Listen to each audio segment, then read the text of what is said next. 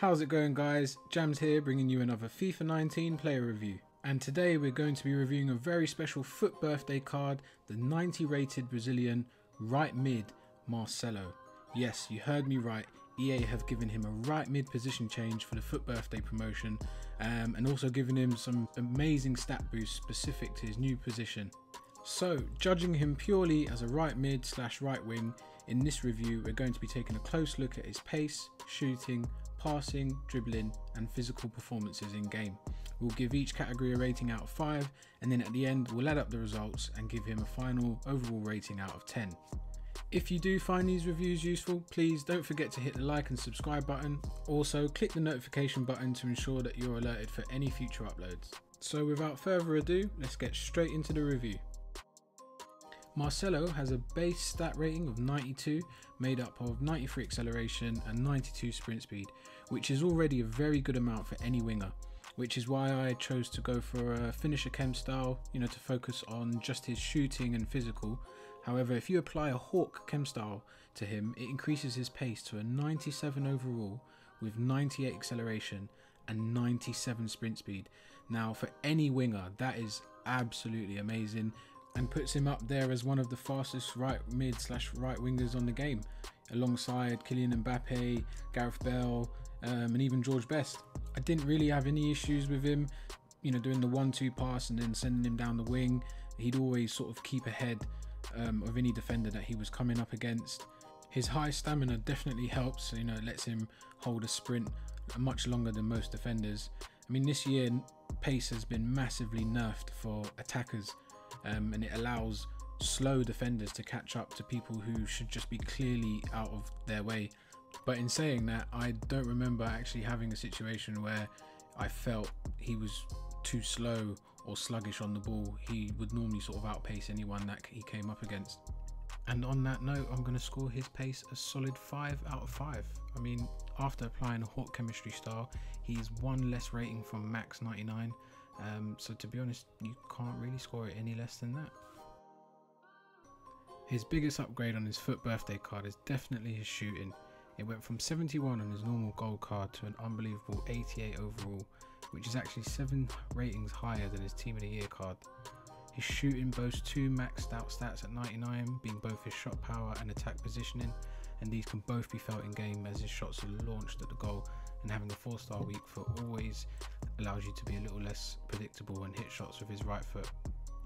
In this clip here you can see I slot the ball to him and decide to smash it near post and obviously with the 99 shot power the keeper has absolutely no chance and literally just rockets straight into the back of the net and he would pretty much do that all game. I mean, his 99 attack positioning meant that he made some really good runs, and he was sort of always there at the corner of my eye to just sort of slot through with either a through ball or driven pass. Here you can see he picks up the ball and passes it to Neymar. He holds it up really well. Marcelo takes one touch to knock it in front and then just absolutely launches it into the top corner. In this clip you can sort of see him at his strongest. He makes these really good runs on the outside and just allows you to sort of get to the byline so you can either cut in for the cross or just like he did there, bit of skill and finesse into the far corner.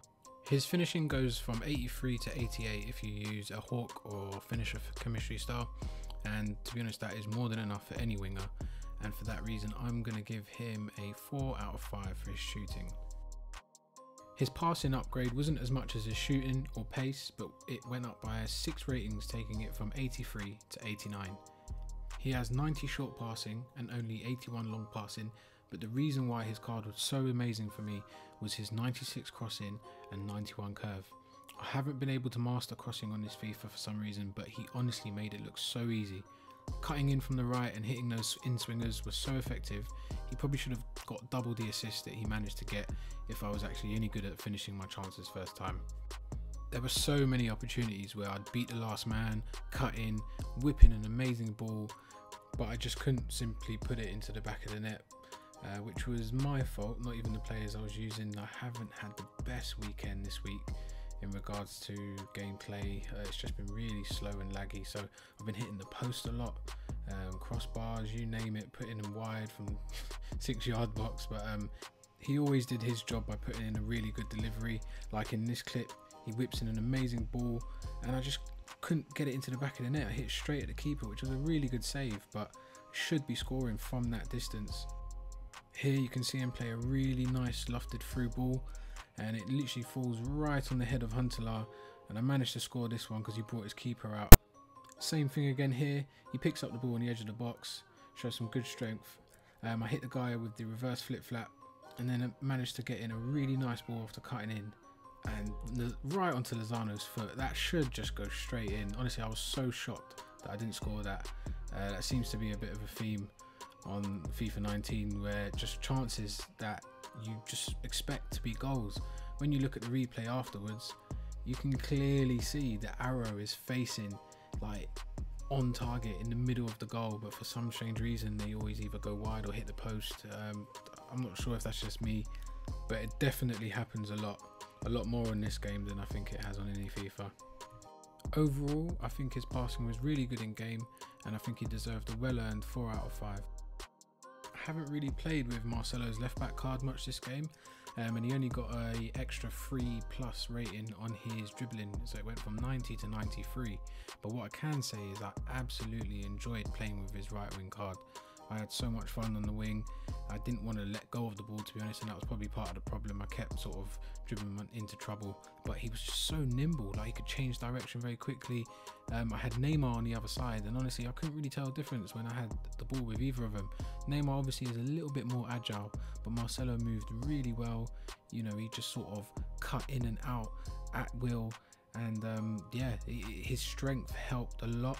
I think his key stat in his dribbling was his 95 ball control, and that was it. It stuck to his foot, and I could tell that people found it hard to get the ball off of him. I found he was really fun to play with, and I'm going to give his dribbling a solid 4.5 out of 5. I think the main reason this card was absolutely amazing in game is simply his physical. He has the physical of a defender, but has also got the attacking attributes boosted during this promotion. Um, 92 stamina just means he can bomb up and down all game. I played 25 matches with him, all in the weekend league, and I didn't have to substitute him once. I think a couple of them went into extra time. He was fine right up into taking penalties. Um, he has 85 aggression, which is really good for an attacker. It just helps when you're sort of battling with those defenders because they all have high aggression. Um, so bringing his defensive stats into the attacking role makes him a much better right mid slash right wing than most of the wingers out there on the game already. He hasn't got really good jumping. It's only 76, but that's more than enough. Um, and his strength as well, 78. If you smack a hawk or finisher on him, that jumping becomes 86 and his strength is 83, which is perfect. Like it makes him an absolute unit on that wing.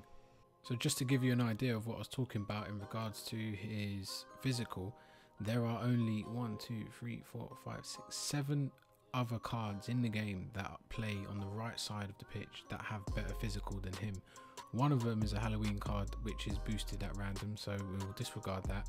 The Hulk, absolute tank. The guy's just built like the Hulk. Um, Mbappe's team of the year. Um, you've got Toquero, you know, silver right mid from the Spanish league.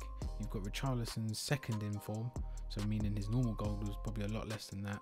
Uh, you've got Gareth Bale's Team of the Year nominee and Michail Antonio, who is also known for his strength and physicality. So it puts him right up there, look above prime moments Figo for physicality. So I give his physical a solid 5 out of 5, as I don't think there are many cards better on that side of the pitch. Is he worth the coins? I'd definitely say yes. At just over 600,000 coins, you're getting a very well rounded right mid. If you have a look at the screenshot that I've got up here, there aren't many around his price mark that are as good as him. Um, you'd have to start getting into the sort of 900 plus just to find people that are actually better than him. And even then, it's debatable. And they don't have the physical. If you look, no one has as good a physical as him. Figo's close with 80. Um, and then obviously Kylian Mbappe's team of the year is the perfect card. That is what you call 10 out of 10 in every department uh, for his position. I was lucky enough to pack Marcelo out of a ultimate pack during one of the lightning rounds on Friday, and to be honest, I enjoyed him so much that I'm actually going to keep him and just build a team around him. It allows me to maybe do the um, Casemiro League SBC and put him in centre mid to get that strong link Okay, guys, that's the end of the review. Thanks for watching. I hope you enjoyed the video. If so, don't forget to drop a like and subscribe. Also hit the notification button to alert you of any future uploads and I'll see you on the next one.